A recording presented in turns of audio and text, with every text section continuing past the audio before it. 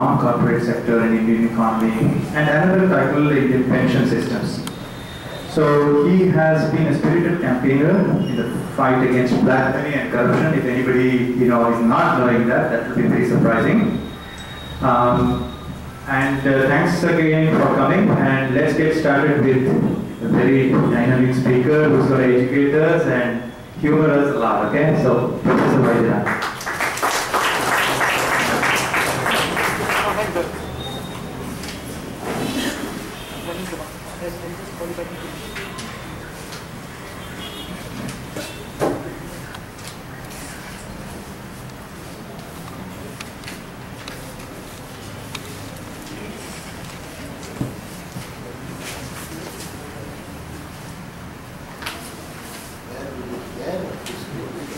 You can you can pull the screen down.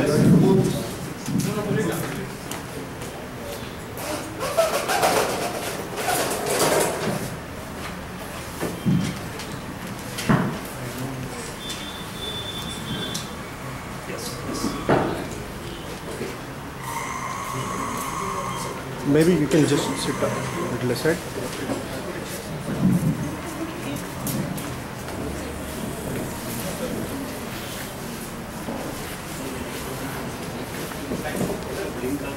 Ah, okay. Yeah. Okay, Good evening, friends. Uh, I think we are, Please switch off, switch off one light. One more. we are running behind time, but uh, we will try to, because we had a earlier program in the same hall, so we have to request them to, some of them we requested to stay along, so that uh, we have more larger uh, number of people as uh, uh, one way. Second one, right? Yeah. Second one, second one. Yeah. Just just a minute.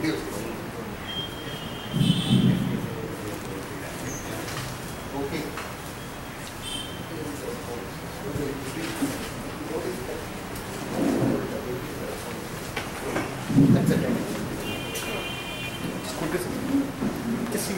Yeah. So we, I have copied all the files. Then showing the files, Indian responses. Uh, should have any file called Indian response. Yeah.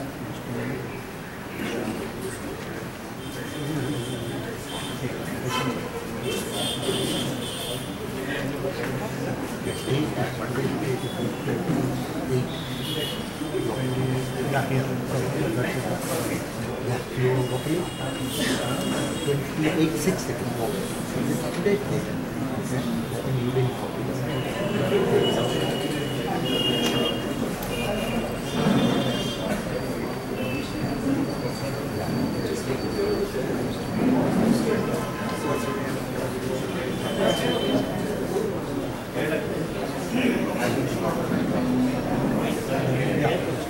I was told that uh, W. No, no. It, it would be in the here, right? I'll copy this file and this folder. No, don't do the folder. Okay, copy the folder. Then only delete it. We need a couple of minutes. We'll have to convert this. Uh, Don't do that. Then only one file you take. Okay. This one. Ah, this one. Right? Yep, is there? Yes. That, that is that enough. Okay. Or you can use that continue and then. yeah, just a couple of minutes. I need to do some meetings. Okay, you got that thing. Yes, I F1. got. I got it.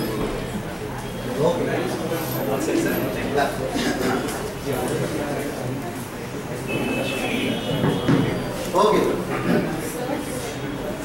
The topic uh, these other people gave and uh, Professor Bhatt was uh, wanting me to talk on is the uh, global crisis and Indian responses. So I was uh, a bit puzzled actually global crisis is very often used nowadays. There was a crisis in uh, Asia actually, some of you may recall, in uh, Thailand, uh, primarily in Thailand. But uh, some significant some portion of it, a small amount uh, impact in Malaysia as well as in Indonesia. At that time it was called Asian crisis. That is the title given all over the world, in India also. Then there was Argentina, Mexico and Chile. there was a major crisis. Argentina was the primary uh, problem uh, in those days. And that was considered as a Latin American crisis. Now today there is a big crisis in Spain, uh, France, uh, Portugal. And that is called global crisis. So the first point I want to note it down is, you know, what, how the, how we view the idea of the world. So there is a crisis in Spain, it's called a, or uh, UK also, it's called a, no, it's primarily an Anglo-Saxon crisis. It's a crisis in Europe and a crisis in US. More so in Europe rather than in. But why should we are involved in this? We are really, really involved in this. The reason is, during the Second World War, before the beginning of the Second World War, one of the interesting comments a British uh, Army General made is, we will fight the Germans to the last Indian. so, we will fight the Germans to the last Indian. So, we would be uh, pushed into this action.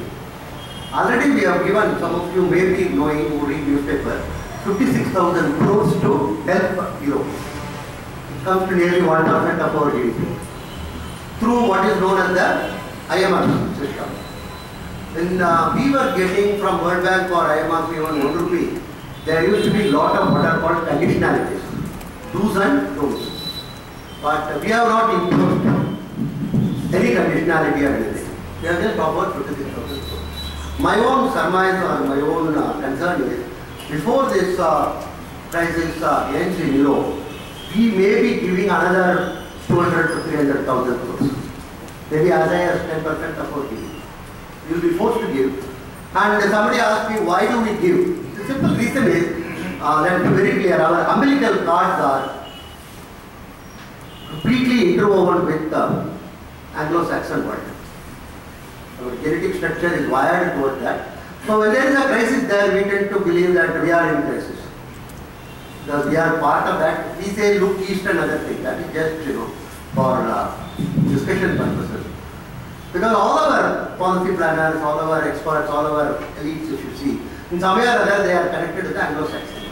Either have studied there, or the children are there, or their uh, property is there, or their pension comes from there. So there is a very important thing we should not, uh, you know, ignore. Or, so we may be giving significantly more. That's one thing. Second is, he would like to be part of the white world. So if they are in crisis, we say we are also in crisis. So then only we will be part and parcel of that. uh, the bigger. So we carry, you know, in a peculiar way, now we are having the white man's burden on our shoulders. So we have to sort of uh, help them out. So this is what. But what is the nature of the crisis, if you want to know? Uh, could you just show the one, first one? Yeah. The nature of the, just one, first one only. Uh,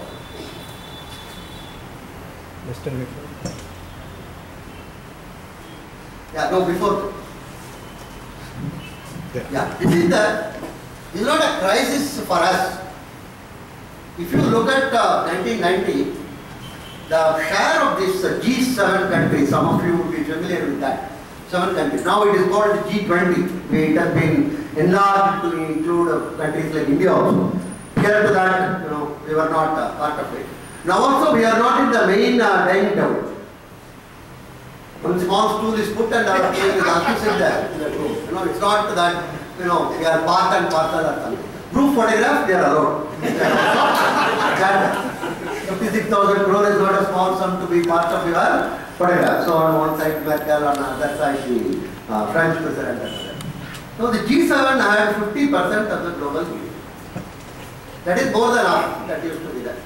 And uh, the so-called emerging market, primarily India, China and uh, Uh, Latin American countries had 35, 36%. Now in 2015, it was the forecast, but it has already become a fact in 2011. The G7 is only having 36%. Whereas India, China and other emerging markets are having 50%. So this is the first point we want to make. This is the nature of the crisis faced by the Anglo-Saxon world. It is only to the extent of 36. And it is forecast in another 7 years, that is 8 years, 2020, this 36 could become around 26%. to 27%. That means if they are 27, obviously the remaining will be 73. Of that, you know, excluding some of the other countries, emerging market would be as high as 60%. Totally 100% would, I think you will agree with that. You know, unless you are a Musharraf who talks about 400% and 500%. he always says 400% is sure. I could never figure it out where it is. Schooling, anyhow. 100 is the total.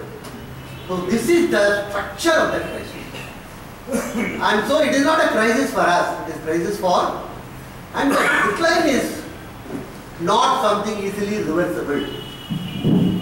In other words, the Western world is in terminal decline. Take my word for it on the 28th Saturday of June. Oh, you will remember it, July. You will remember it. It is in a terminal decline. In 2008, I was interviewed by some CNBC. They asked how long it will take for them to recover. I told uh, it will take uh, something like uh, 24 uh, quarters for them to recover. The girl was very sharp, 24 by 4, she asked, it 6 years? I told yes, 24 quarters is 6 years normally. After that, nobody. Any of this, uh, Very recently, I was asked in another business channel, how long it take? I told 80 quarters. And then uh, she was shocked actually. I told 80 quarters as the professor, they are polite people. We never say they will never recover. and so I have put in that uh. They will not recover. I can assure you of that. It's a terminal decline. But we will just see in a few minutes. Declining affairs are dangerous affairs. Rising affairs are not as dangerous as declining affairs. Because declining affairs would like to create the world with a mirror image of their own declined model. And that is what is going to happen. That's what is uh, are going to focus. So this is something which, and the second point is very quick. It is emerging is a terminology used by the developed world. This is part of what I call the terminological terrorism. Among various terrorism, there is also a terminological terrorism. They call, you know, 80% of Indian economy is unorganized. Unorganized means what? Sort of a feeling of disorganized. So something has to be done. We have to come and clean it up. We will come and set up shop and make it organized. Like uh, I always used to say when I was in uh, graduation, we used to have interesting three papers in economics. One was called American economic system. Second is European economic history. Third is Indian economic problems. So very, you know, you're all laughing. But you can see how much the idea has been internalized into my brain. So whenever I look at Indian economy, it, I look at it as a problem because it has been not just today, it has been told for so many people have written. So we have to write about that paper and get marks and other things. We have to what are all problems. So that is the so the terminological terrorism has imposed this word emerging economy. It is not emerging, it is re-emerging economy. Till 1820, India and China had more than 50% of the world GDP. So there is a famous study by Angus Maddison by OECD. So much it has been talked about, some of you may be knowing. That clearly establishes from the period of uh, one, that is the CE, Christian era, till 18, uh, India and China were the, because there was an earlier study by one Bairoch who published that, you know, India and China were actually economically very active. Till then people thought, you know, these two countries were generally people are living in caves and inhaling and exhaling and. You know, yoga and you know, that's what they were. But the Bairoch told no, they were very active economically. Trade, commerce and these were, that means, that means they were part and parcel of the material. So you can just show the next one. We won't spend too much time on that. The point we want to stress is, till 1820, we had 50% of the global. After that, it declined due to colonialism and due to the invention of the gunpowder, which the Anglo-Saxon world understood how to use it. You know, we were only having all our pataki and other thing and celebrating before gods, but they knew how to use the gunpowder much better. So that is a decline which started after 18. So I want to stress the point, we are not an emerging economy, we are a re-emerging economy. So whenever somewhere in some context you come across the word, you immediately say, no, we are only re-emerging. We are retrieving where we were. In other words, the 200 years of the Western dominance is only a intermediate period. It's not something permanent. For that matter, in our belief system, nothing is called permanent. It's a huge amount of a cycle, cosmic cycle we undergo. But even then, so we are not emerging, we are re-emerging. Now the question is, what is the nature of the crisis? The crisis did come in the last two, three years. It is called Euro crisis. It's not Euro crisis, it's European crisis. Very important to understand. How did it come about? One of the reasons why it came about is huge amount of indebtedness incurred by the different countries of this uh, sphere. What are called the emerged or what are called the developed economies. Can have a quick look at that number and uh, this goes on actually changing. Just next one. Next one. Yeah, this is the picture. This goes on changing every month, every week it is getting updated. And this is uh, as a February figure, January figure. You know, further it has increased actually. You can see the overall debt to GDP of these countries. Like uh, uh, United States is 280, now it is 310 percent, and Japan is 500 percent. Huge indebted countries. Uh, you know, uh, Britain, our own UK. Why I call our own is because we have to run that country sooner or later. we will have to hand it over to. There is no other way. Highest percent is their debt to GDP. It's totally unsustainable levels of indebtedness they have all gone. In other words, it is as if you know, nobody's business. It's not up to their neck or anything. It's gone beyond that. So why such a level of indebtedness? So what is happening? All their you know banks are in crisis, and correspondingly all their bond markets are in crisis, and all of them are interlinked with each other. So there is a what is called the contagion effect is also there. So why this level of indebtedness? One of the major constituents of this indebtedness is not government debt. Government of course is having significant amount of debt. Household debts are phenomenally high. You can go to the next one, jump further, further jump. Yeah, keep it here. This is the issue.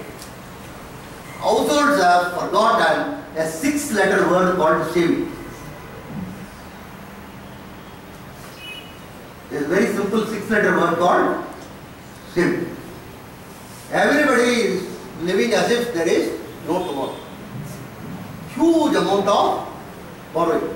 See, in Britain it is uh, practically nearly 100%. All are, and why did they forget the word saving? And it has not gonna come about in the last five years. Let me tell you, it has come about from nearly 1960.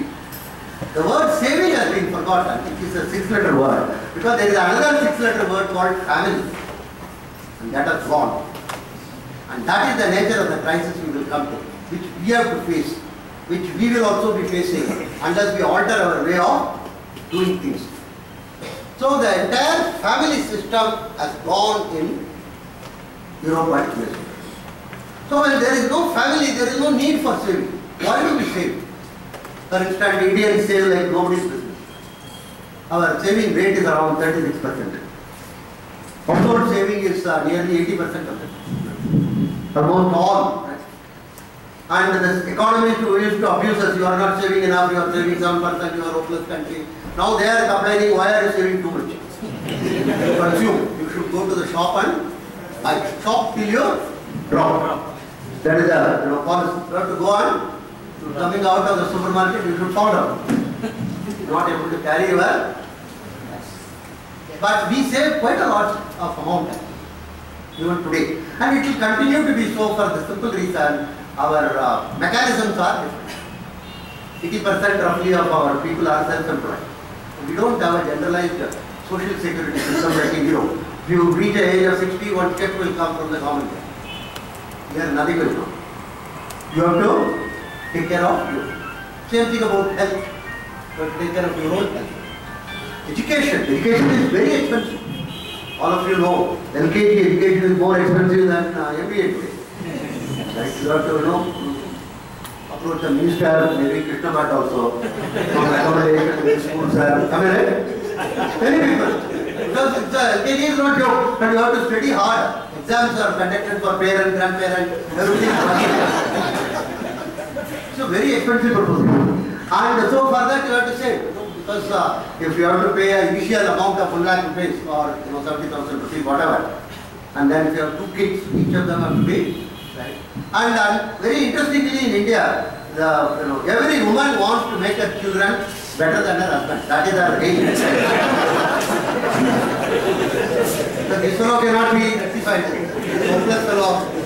Nothing can be done. So at least let me make my children. That is one of the primary goals of the woman. Because this is the way she can take vengeance on that useless fellow. So because sometimes they also say when he is not around, don't be like father, don't be useless.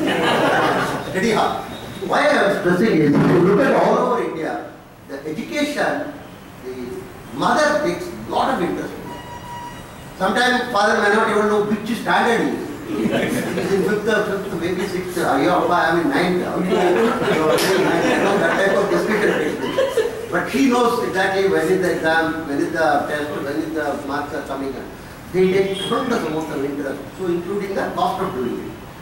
And the fourth one is samskaras, all sorts of, you know, marriages, death, birth, all this. And lower the class you are, more actively you participate in these samskaras. Compared to richer segment, richer segment. Will send one SMS only, very sorry. And uh, you have died, that realized, so I have sent a SMS to the dead man, how is of, uh, you are very rich, very poorer segment, they take the bus, they go to the place, they buy saris, they participate, you know, all sort of samskaras, they involve themselves. All these four constitute the critical element of our saving. It is not anyway going to change immediately. So that is the, so we still are a highly saving country. They are all forgotten saving. Why they are forgotten saving? Because the concept of family is gone. If you look at, we will take the next. We won't know financial debt, we won't spend time. Go next. Not required. Not, this is the Eurozone debt. Ah, this Eurozone, what we were talking about, all of them are in crisis. And everybody wants to make it appear as if somebody else is having problem. So you see the humor here. The Spain is not Greece. That's what the Spanish finance minister declared. Because he says Spain is not Greece. Is in deep problem, but they are not. Portugal is not Greece. That is another fellow declared. That the Prime Minister of Portugal. Greece is not Ireland. That Greece fellow says Ireland is much more difficulty than me. You know, so you have scored only 15%, no sir, neighbors can score 10%. So I am much uh, better than that. So that is what he told. Spain is neither Ireland nor Portugal. That Spanish finance minister claims. Ireland is not a Greek territory. You know, they are shocking. Neither Spain nor Portugal is Ireland. This fellow is Italy, Secretary General of OECD. Italy is not Spain. That is suddenly one fellow. Because Italy is in also problem. Italy is in deep problem. Italians, no, I am talking about Italy. Don't try to, no. Spain is not Uganda. This is not called for. Suddenly one fellow, the Spanish Prime Minister, Mariano Rajoy, he told Spain is not Uganda. This Ugandan foreign minister got annoyed. He says Uganda does not want to be Spain. Why unnecessarily involve that fellow? Uganda. They thought Uganda is a you know jovial type of that fellow, but you don't want to be Spain. Whole point we want to stress is all of them are Nanga. Everybody is telling other fellow is not having the test. All of them are in. And so it is not going to be a easy thing for any one of them to uh, come out of it. Then go to the next. So this is no contagion is all, none except all banks are interlinked, all of the institutions are interlinked. So if somebody sneezes, somebody is going to get fever. So there is no. Now what happened is, this is what is, no before that, this is another thing which is taking place in the uh, global. No, next one. No, next one. Yeah, this is you have to wait. Maybe I don't know whether it is. Uh, the conversion is uh, Huh? it's not conversion is not uh, not good. Not there. Yeah. Uh, That's an important thing. Somewhere else you will be able to access. Try about it later. We come to the next one. Okay. Most important. Uh, before that, I will explain. Any of you put it. I'll just explain what is happening. The population of Europe used to be 25% during First World War. 1920. You won't even believe. 25% of the world was living in Europe. Today it is around 11%. And it is expected to be 2% in another 25 years. In other words, Europe is demographically declining. Large number of countries in Northern Europe have reproductive rate less than 1.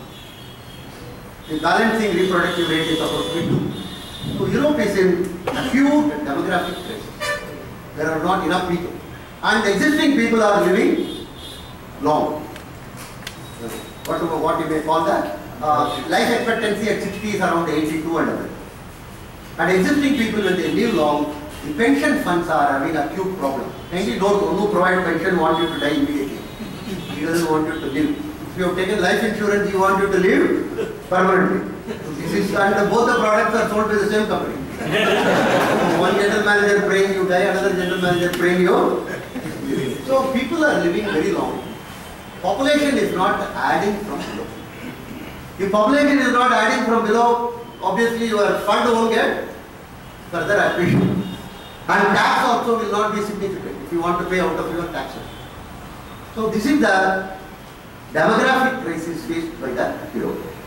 And the lower levels for what are called brown collar work, to clean your roads, to remove plates from restaurants, various of these activities, they don't have enough white people, their own Caucasian people. So they depend upon people from Somalia, Algeria, Ethiopia, Sri Lanka, India, Bangladesh, all these countries. If you go to Europe, all the lower level activity is done by people who are of these countries today. So it is a huge amount of a issue because quite a large number of them are illegal immigrants. For instance, Parmala, one uh, large, uh, like Nandini Dairy in uh, Bangalore, know, Karnataka, it is in Italy. It's one of the largest private dairies. That is sustained and run by people from Punjab. It's not owned or. It's run by, all of them are illegal who have gone on what is known as manjatri. That is, uh, you know, under the truck you hold like this and then travel three nights from Punjab to Italy. Six thousand dollars is the amount you have to pay to get yourself into the place. It's a huge illegal. Substantial number of illegal migrants in France, UK and various other countries also belong to Islam faith. So there is a anti-migrant feeling is getting converted into anti-Islam feeling. So that is another dimension we will immediately focus. So there is a demographic decline in Europe, which is accentuating the economic crisis. Number of people, demographic decline.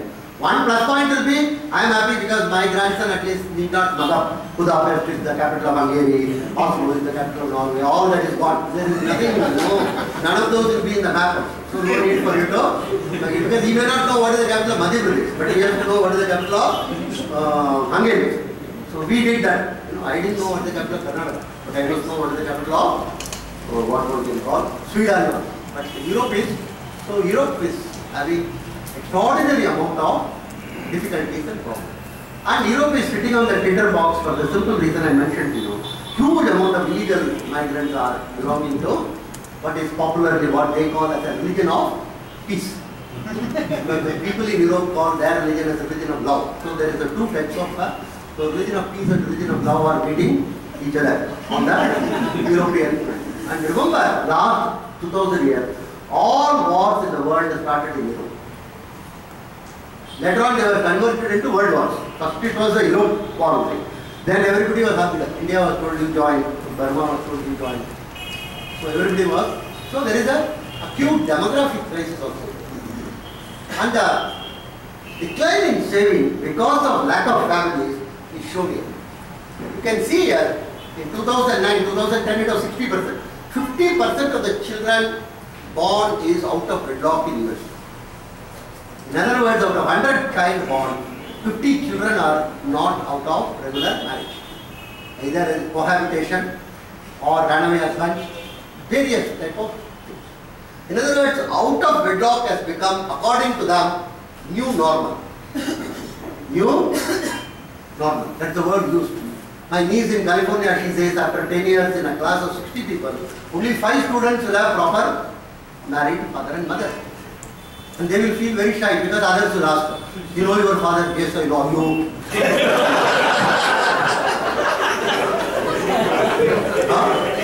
It's a huge crisis. We are laughing about it.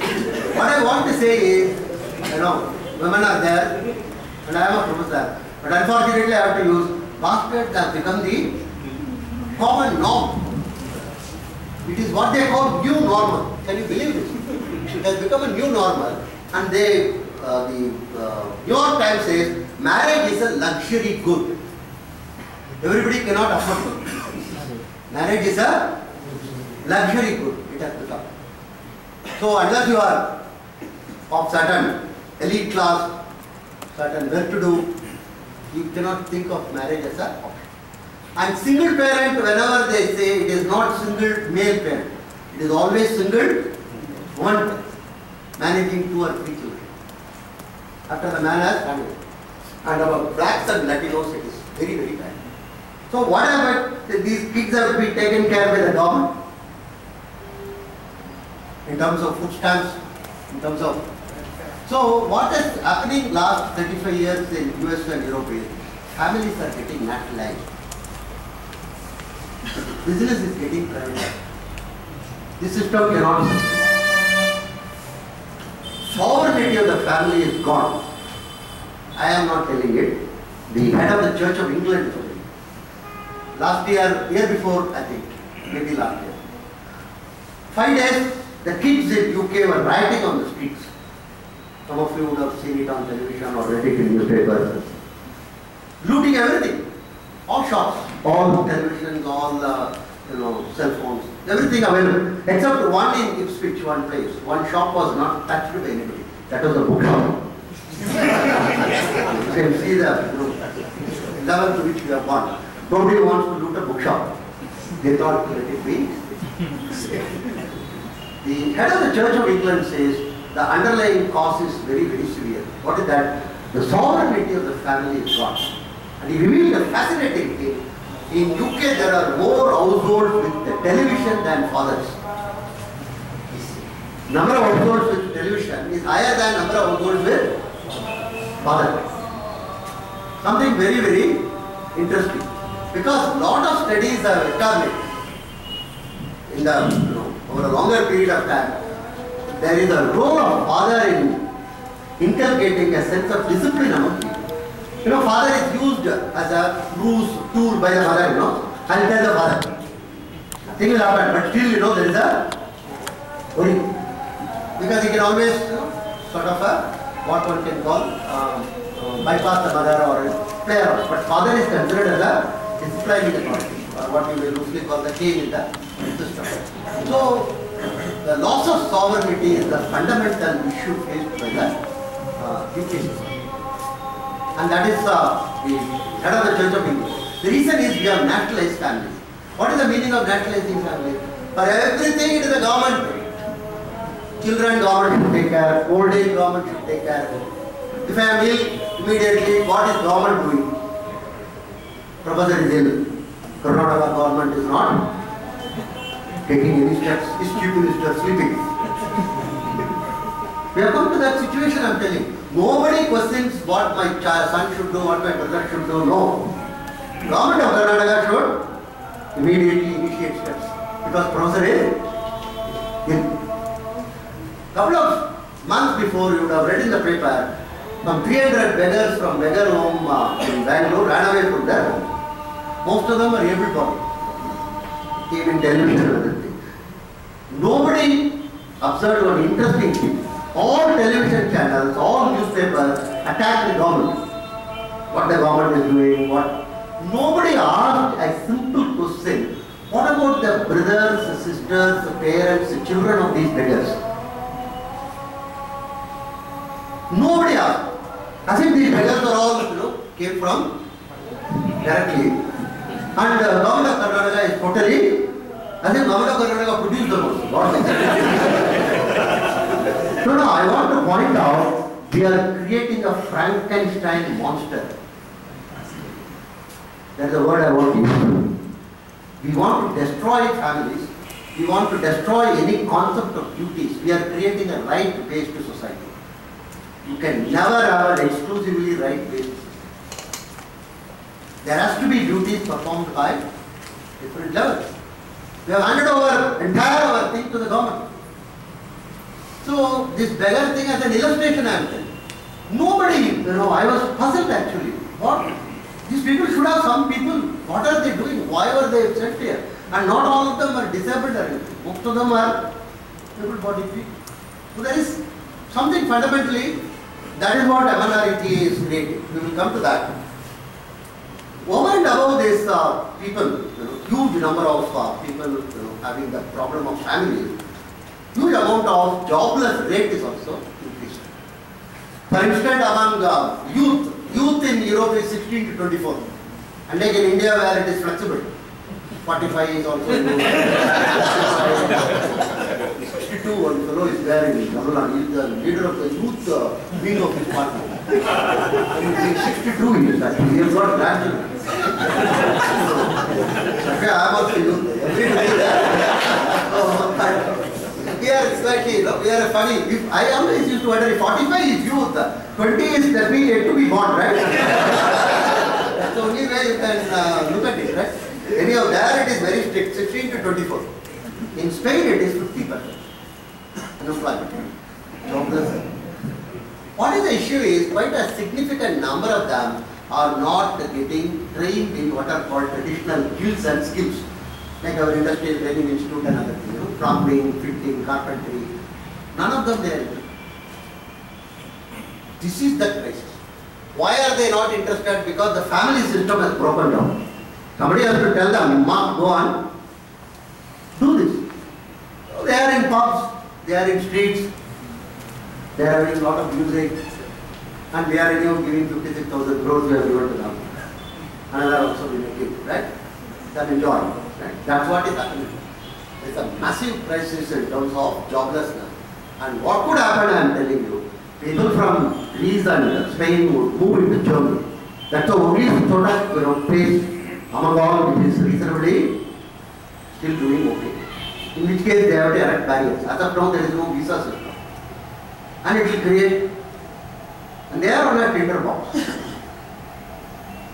Any time it could happen in the next one or two years. So this is what is the, most of them do not have skills. That's a fundamental problem. They are exactly replicating the same thing here in India. The name of MNRED, we have given one, uh, what one can call um, connection with this. Center for India, one of the website has published an excellent paper after thorough analysis of what is happening. They are creating a huge bunch of unemployable people. Tamil Nadu and uh, Kerala are full employment according to me because you don't get anybody to do any work in both the states. Plumber, fitter, carpenter, nothing. Because 25 kg is free rice, another 25 kg is 1 rupee. And you get 114 rupees out of that, uh, the, the, you know, the political agent will take away something, something, but still you are left with 80 rupees. So 40 rupees this fellow using drinks. Largest earner in Tamil Nadu is drinks for the state government. Yeah. Not the other uh, taxes are Merely drink, sleep, and remaining 40, 30 rupees he gives home. And a lot of people have sold lands. Because what is the point in keeping land? So they are getting 15,000, 20,000. And so many places, so many uh, things are taking place. Himachal Pradesh, if you catch a monkey, you get 200 rupees. So they claim that they have caught uh, 2,000 monkeys. Who is going to? The same monkeys is again and again caught. So you know, it's very difficult to keep track of which monkey you. You know, in the olden days, I don't know whether you know this, uh, buffalo loans used to be given by the banker. Today, buffalo, this fellow will take it. And the bank manager is never trying to distinguish between one buffalo and another buffalo. It's not his technical training. All of them look alike. And after one month, this fellow will go and say, buffalo is dead also. right? And then, uh, so we have done that. What else? So loan has to be. So anyway, this uh, monkey business is uh, going on in the market. Every state is having massive Frankenstein they are creating in the country. After 10 years of this MNREGA, we will have a huge mass of people who cannot do anything. Who can only drink, sleep. This is the society we want to create. This is the mirror image of the European society. Because the Europeans are in NAC. Jean Drèze and chairman is also in Europe. National Advisory Council. The entire thing is to destroy the sovereignties of the family, skill formation among youngsters. This is the thing which we are following. Actually, If you look at, there are two books I have mentioned here, Charles Murray, Coming Apart of State of White America, and Righteous Mind. These are two fascinating type of a work. So, if some of you are, you know, later occasion, you must, uh, you know, if you are interested further. So you can go next. Uh, yeah, our Indian thing, okay, Indian, you can go further down.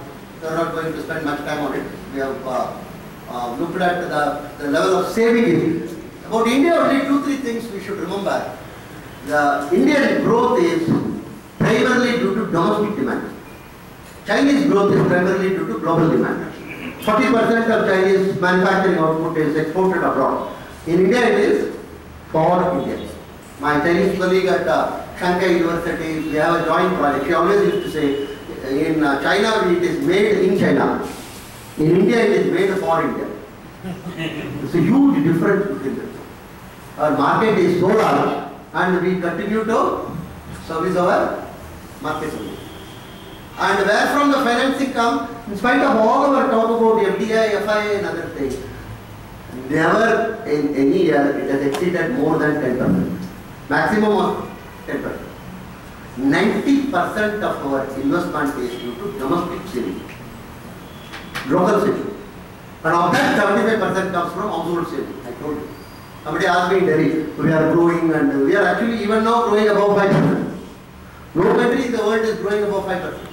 All of Europe is growing minus or 1%. We are still growing. So who is responsible for growth? I told you you erect a statue of a housewife from Kottayam to Kamrup. A very small town, one lady is cutting. She is responsible for our growth. Lady without handbag, sorry. and, uh, if you put with handbag, it will create some other complication. Right?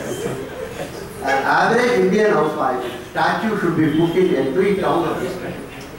She is squarely responsible for the growth rate of our economies, Not big businesses, not government. It is in spite of government. It is not due to government. Don't get confused. So it was always underachieving and now it is further underachieving. That's all. Nothing more than. Our because fundamentally we should recognize one thing. Our society is organized. Our government is disorganized. Right. So that is the cause for our growth. So we can go again further. These are growth rates and other things we have given for individual sectors and other things. We can further skip saving rate, we mentioned about it, how households constitute the bulk of the saving rate and other, and skip further. More. Composition of household saving is very important. Indian households still keep large amount of money only in banks. In spite of so much talking about Sensex and share market and other thing, not even 4-5% goes to share market. Entire amount only goes to banks, postal savings and uh, EPF, employee provident fund pension and because they are mandatory. So the role of the stock market, in spite of I being associated with SEBI from 1990 and other things, the fact of the matter is stock market plays a very very smaller. In spite of everybody is talking about that and everybody is worried about that and other things. No. But uh, significant, and this is the same thing in other Asian economies. They are not unique. Japan, for instance, has got one of the most developed capital markets, not more than 8% goes into the capital market by the households. They all put it in the banks. Even though Japanese banks give very, very low interest. Same thing in Europe. Europe is also bank. The only country obsessed with share market is US. So we tend to think that all over the world everybody is. Huge amount of our money goes into banks.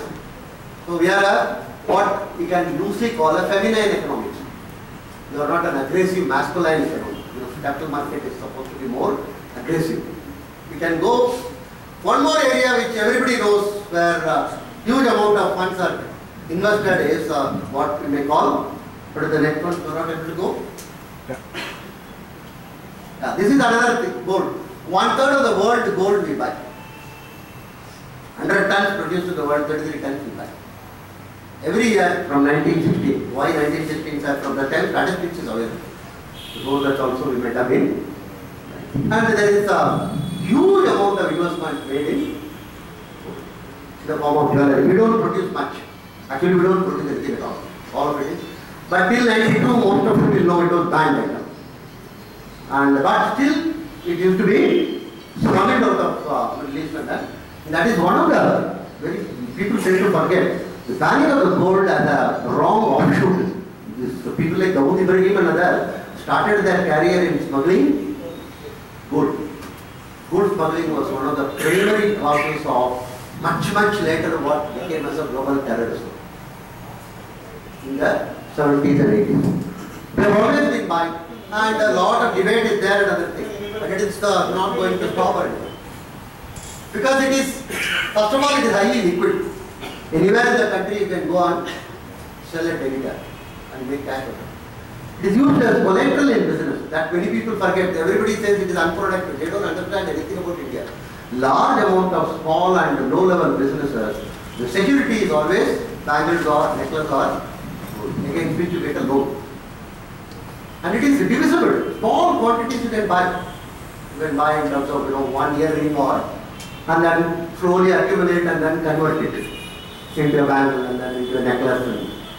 And, uh, it is easy to liquidate from one generation to another generation without income tax fellows or other fellows getting involved.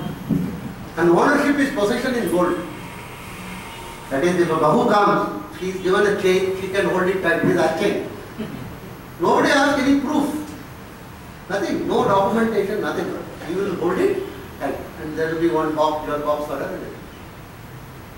Kindly remember one important thing. Large number of Indian women acquire gold and if Indian women do something, take it from me, it's the most cleverer and the most shrewd activity they are indulging. Immediately give a tip mark. Don't even question it because they know what they are doing about it. So it is not going to, and here the Middle East also have to add with India. This Middle East is not bought by kings, sir. It is all by our own fellows in Qatar, Dubai and other places. you the point. It's all plumber, fitter, carpenter from Kerala. So it will come to India again. So there was a consulting firm. They were asked by RBI, you know, they told 18,000 gold is the stock in India. 18,000 tons. And I think you some of you will know recently the Trivandrum temple got opened. After that, nobody talks about what is the stock of gold I asked recently one RBI deputy governor, what is the stock of gold, what is your current estimate? He says, Professor, you are very vicious. then they have stopped that. So after that, you know, one temple, one location. Anyhow, my personal view is it's the most foolish thing ever to have been done by the uh, court in this country. Absolutely, the sleeping dog should lie low. In spite of it. Now what is happening? Every month they are paying couple of crores to keep the police there. And it has to be kept permanently. Not just tomorrow or anything. And global groups are already knows about it. They will be, I'm sure, they will even dig a tunnel under the sea and then come in. Not today, I'm telling you. You see, France, Germany has got so much sophisticated equipment, but still you may be reading in the paper how people come and steal from the, uh, what one can call the best, uh, you know, these uh, museum pieces and other things. We have, un, you know, unnecessarily we have exposed ourselves. Because it is something of the order of 500 million. Nobody knows the estimate actually. Because some of them are, and some people are telling, why don't we, you know, take away that money and fill up all our potholes in Bangalore. you know how to fill up only the pockets of people, not the uh, right? right? Unfortunately, he's a, he's a, very different politician. you are not run place, right? So nothing, what, how can this generation claim that that money belongs to us? It has been given by people in 15th century, 16th century, 17th century, right? How can we say that uh, that it is? See, Ireland, which is a Catholic country, is an acute crisis. Spain and Portugal are in an acute crisis. 7 trillion are estimatedly is this Vatican Museum. Nobody asked even one day that one euro of that should be used for those countries. Have you ever read anything that the what is kept in the Vatican Museum should be used? Here all riffraff who do not know history, who do not know geography, who don't know where Kerala is, who don't know where Trivandrum is, who don't know Anantapadmanabha, they just write issue bonds, you know, give us more and uh, let, uh, let us have more of roads. There won't be any roads, I can assure you.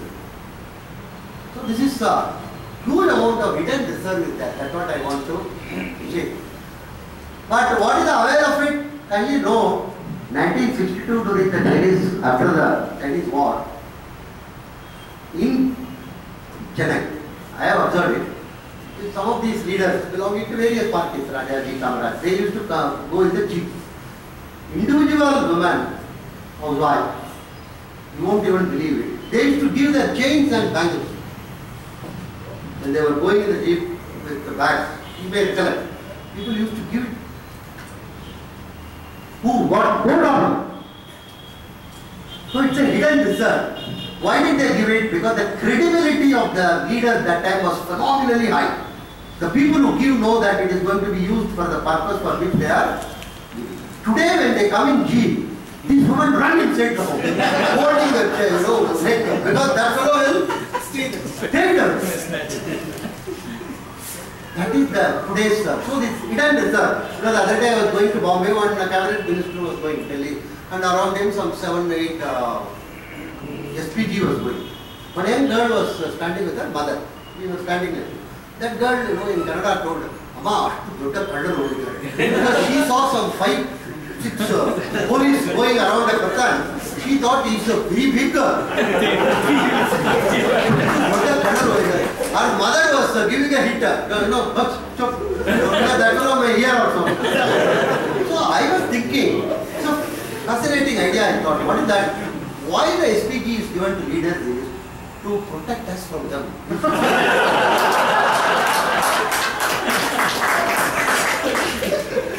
criticize next time when you know more. I would say lot of police should be around.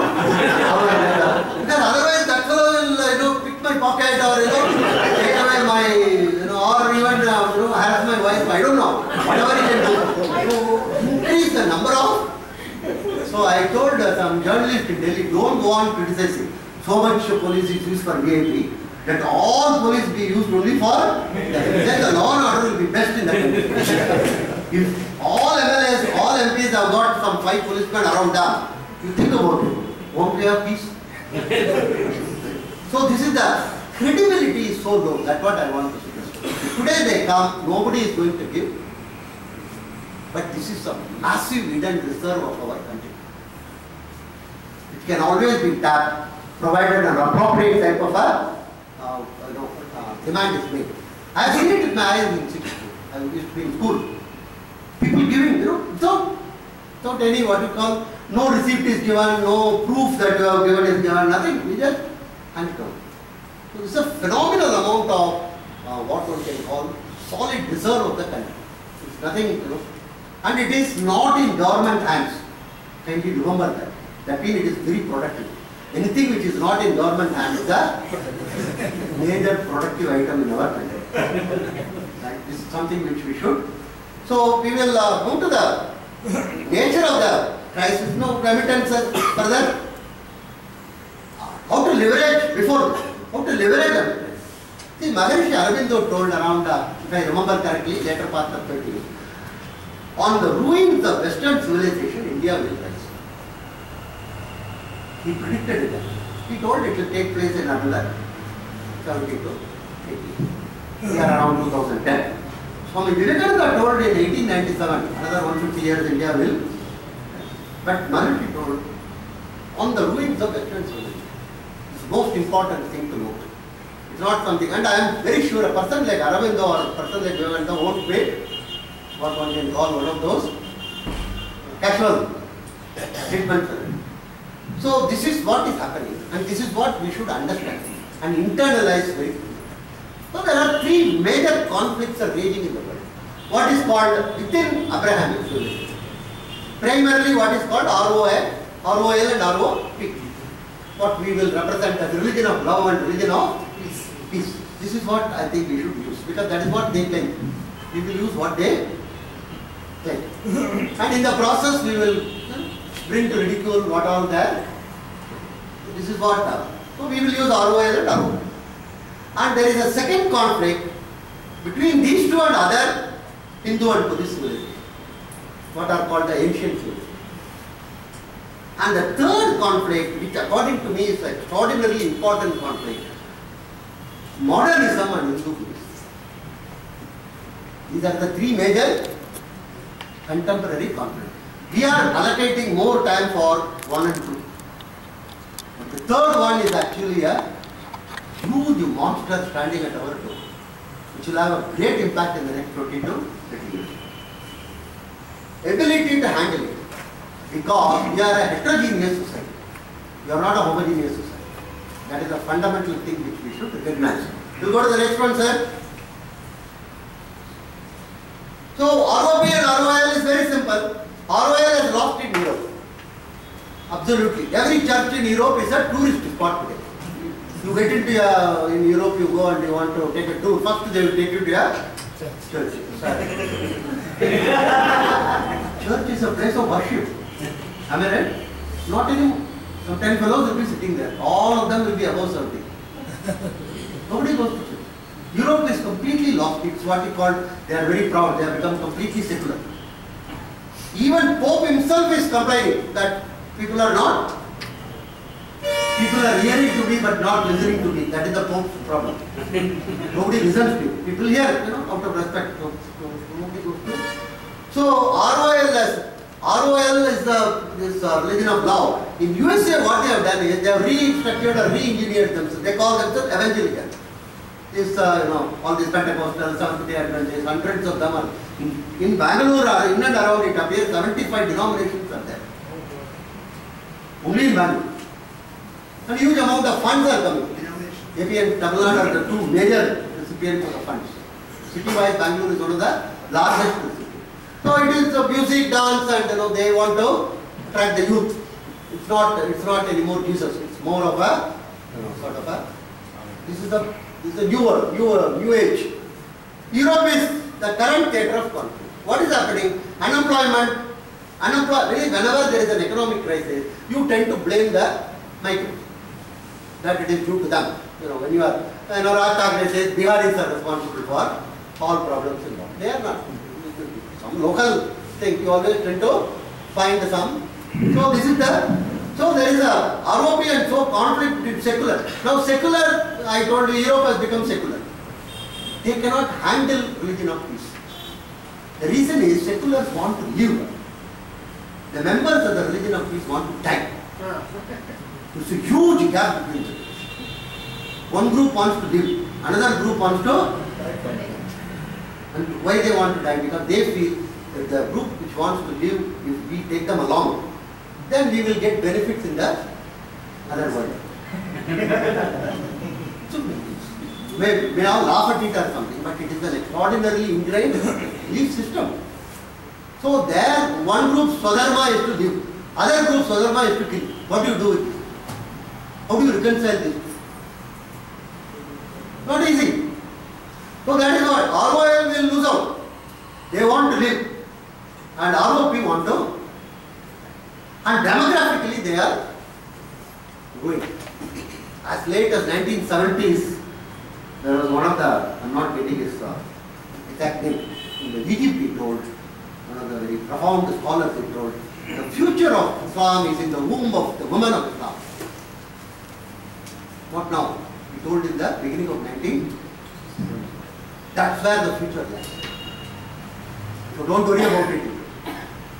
As long as there are women, long, the future is secure. So demographically, they are much, much more strengthening. Whereas the religion of love has gone into post-contraceptive society. Because the Pope himself says that people are not listening. Nobody is concerned about what I am. Because he is propagating that, you know, don't uh, go for family planning and all. Nobody is. So we will go to the next. This is the conflict between ROP and ROL. This is a very minor one if you call me, in the manga. Next one if you go, conflict between ROP and ROL and others. This is, a, this is what we are spending lot of time and energy. What do they want? They want homogenization. Both of them. My way or. To the extent, very interesting, the Vatican says that Protestants have less possibility of going to heaven compared to us. We have, our road is more, but theirs is slightly within that. Everybody say my way or my path is the only path. And we always start with, you know, 100 rivers reach the ocean and, uh, you know, all the rivers are, they don't agree with that. They say there is only one river and there is no ocean. You get into that and get lost. And the most important is purity of behavior. Everybody wants to say that our group is the most pure. So we can see here, too many Namdiyas are not accepted. There was a Nobel uh, laureate from Pakistan who belonged to the Ahmadiyya. He was working in Denmark. I'm not getting his name immediately. Huh? No, no. Huh? Salam, I think, right? Huh? No, no. Salam, I think, yeah. Very interesting. They put up a board for his uh, cemetery. First Muslim Nobel laureate in physics. But some local council people objected to it. Because he is Ahmadiyya. So they removed the word Muslim. So that is now first Nobel laureate in physics. sir. What is it? so many Nobel laureates in physics in much area. Why I am highlighting this is, this is the extent to which this purity is, each one wanting to eliminate the other. And uh, no accept, see, atheists and agnostics, only Indian tradition accepted from day one. Atheists and agnostics are considered as part and parcel of our, we were never unhappy with them, we were never, they are, they, Vivekananda used to say, you know, they are, actually used to say they are the most courageous people. He gave in one of his talks, telling that atheists and agnostic are the most courageous people. To say that they are atheists and there is absolutely, there is no other system in the world which explicitly recognized atheist and agnostic. They are the only one who are, that is one of the most important things. You know, unless you accept the negationist, we didn't tolerate them or anything. We accepted them, okay, it's your, we will have debates. We will have, not that we will leave you in peace. We will, peace means we are not going to hurt them or anything, but we will debate. You know, we can teach people by debate, you know that, right? Look at our assembly and parliament. You know, the type of debate they do, no? So, so very, so failure of multiculturalism because of homogeneity. They want everything to be of the same order. But having heterogeneity as a phenomenal amount of issues, because we all want to again become homogeneous. See, when you, when you continuously and constantly uh, meet an enemy, you tend to acquire the characteristics of the enemy. You tend to acquire the characteristics of the enemy. You will see the next one. But heterogenization is the major positive thing. Of that, one of the major important thing is caste. Caste is a social capital. Many people will immediately look at, ah, what is this person? Nothing. It is a, you tell me, sir, in the written history, even by Marxists in the last 1500 years, there were no caste wars.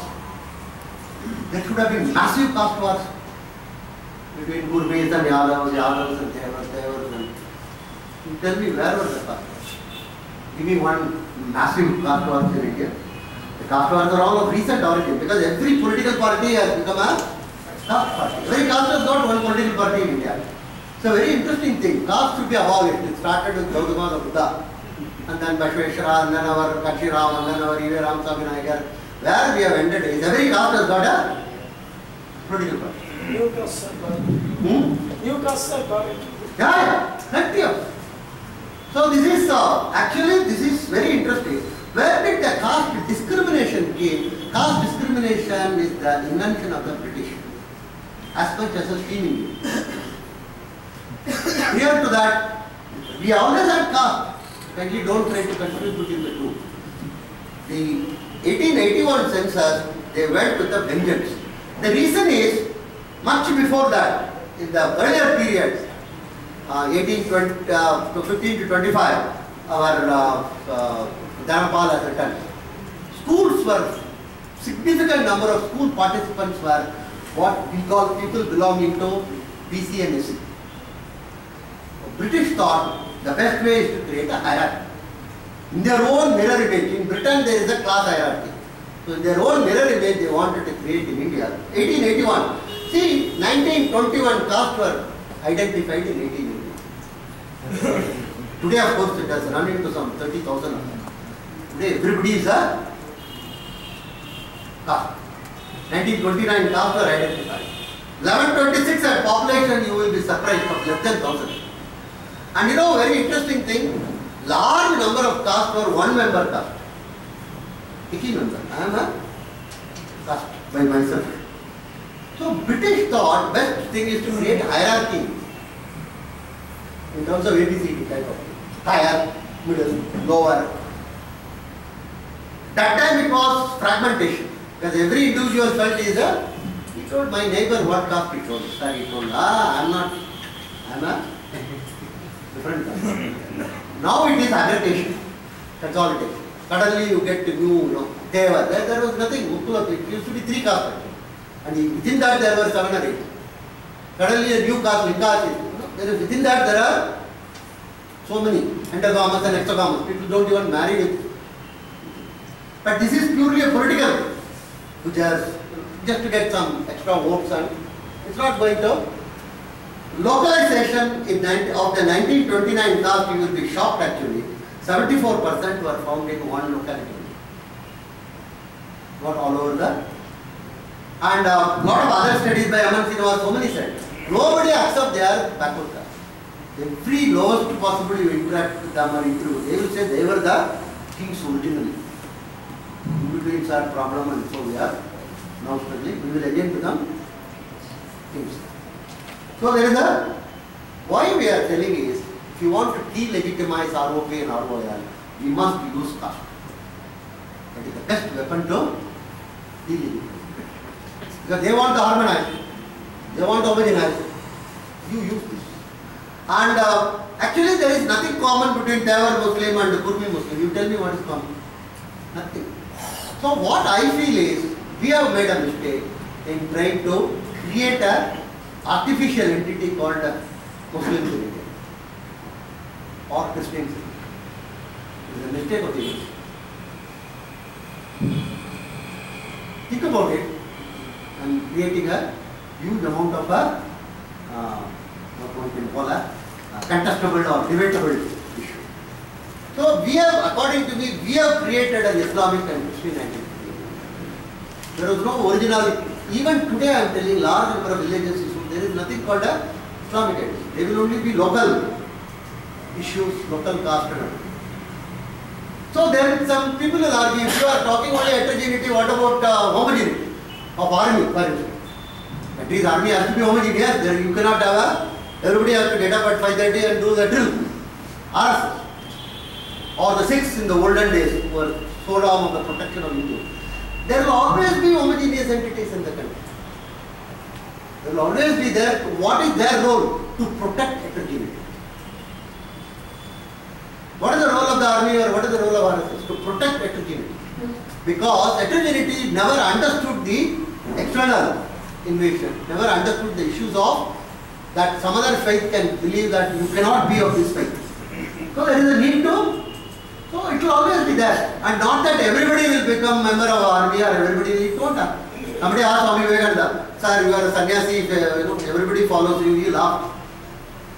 All are never going to become there will be some sannyasis, there will be large number of, actually there will be proportion of grahasthas will be much more.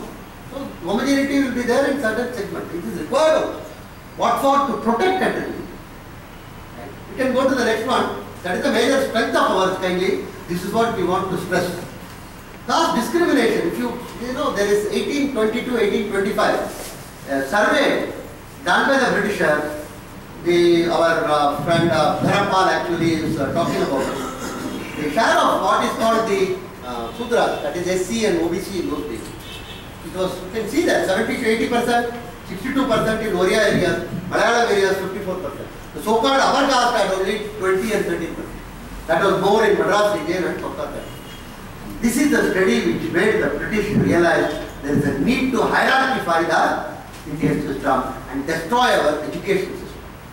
Because this is secular education. This is not education for uh, you know reading your uh, Vedas and so they thought that this is not going to. This has to be turned completely upside down by creating hierarchy. The source is Dharampal. I think uh, might have gone somewhere. Dharampal, there is a beautiful tree. There is a book which is available free on the internet. Right? Free means there will always be some enthusiasm, at least, right? so that is why some, somebody at least will create a beautiful tree. It's extremely well written, substantial book. Dharampal, one of the original Gandhian thinkers. He didn't belong to uh, what you can call the Saffron Brigade. or the original Gandhian thinkers. So we can go to the next one. This is the main thing which we have to. I am looking at something like 2050. Why are you looking at 2050, sir? That is why that is why there are some crackpots like professors who are in this country. They are expected to look ahead, not uh, you know. Unlike you know some of the chief ministers who are looking for only next to you know what will happen Monday morning. Today is Saturday. You know. Will I be here? I am looking forward. This is the major thing. This is spirit of Christianity. What you may call modernism or secularism. Why? Because it's a post-contraceptive society. So most important thing to understand. It's not, uh, this is something which came in 57. It has completely altered the. Completely altered the landscape of and uh, issues of homosexuality, concept of living together, cohabitation, and uh, what is called the LGBT. That is lesbian, gay, bisexual, transgender. That is what is called LGBT. The reason is why I am abusing. This is these are all no more considered as anything to be what one can call looked down upon or anything to be even ignored. Now these are all to be venerated. These are all to be emulated. This is the state we have come to. 15 years before if a child is born I have to ask you know, whether it is a boy or a girl. Today some of my students is getting married I have to ask are you marrying a boy No, no, I'm, I'm not condemning or anything. I'm only telling the way we are. When they LGBT conduct a parade, it is given in the TV as something to be looked upon. Because we are creating a rights-based society. We are creating a society based on everybody has got some rights. My name is Vaidyanathan. I am alphabetically challenged. B. In independent day school, you know, they have to, you know, when the teacher was, will say stand as per alphabet. This Anand, Aravind, everybody will get chocolate. Never me. Behind me on Xavier be there. So I am a president of the alphabetically challenged people of the world. And when I went to China, I was very happy because I was first in the queue. All are Z, X, So what I want to say is everybody is a victim only in this. There is a huge amount of victimhood we have created. And uh, one side victimhood, other side guilty. Those who are not, you know, those who are Aravinds are made to feel guilty. Oh, you, our name is starting with A. This fellow's name is starting with So my victimhood and his guilt is aligned. And that is the agenda of the secular. The secular would like to destroy this society. Let me tell you honestly. The aim of secular is not something to propagate or protect or anything. Destruction of the community and the family. And one of the tool is creating victimhood and creating guilt. So to start the debate itself, they will start it as a guilt. Are you not guilty? Why should I be guilty? No, no, you must be. No, I didn't do anything. No, your father no, he didn't do anything. No, no, his grandfather. No, 7th century lady. Are you aware of it? He is also not aware of it. You will abuse. You have done something. That's the starting point. And what about that fellow? That fellow has suffered a lot. No, no, he seems to be going in Benz car and he is well. Uh, his father is IAS. No, no, no, his grandfather. His great grandfather. Because I will tell you one thing, in India past is uncertain, take my word for it. Every other country future is uncertain. For us past is uncertain. Has been deliberately made uncertain because you want to anchor yourself in it. If a society can anchor itself to something, then it will flourish. It will be prevented from anchoring itself to it. That is why the left historians have seen to it your past is made uncertain. Europe, all churches are Pope himself complained. Islam is doing a violent battle against modernism. What is the current? Islam is not fighting Christianity. My word on that. Because Islam knows Christianity is khatam ho gaya. Cannot stand. Some Africa and other places, something is going on. The main concern of Islam is modernism. Islam is totally against contraceptive society. Cannot stand homosexuality. Cannot accept living together. Over and above the role of women. That is what the fundamental uh, issue of Islam is with modernism. It feels modernism will completely finish off Islam as much as it has finished off Christianity. So what, how do they do it? They do it in terms of one is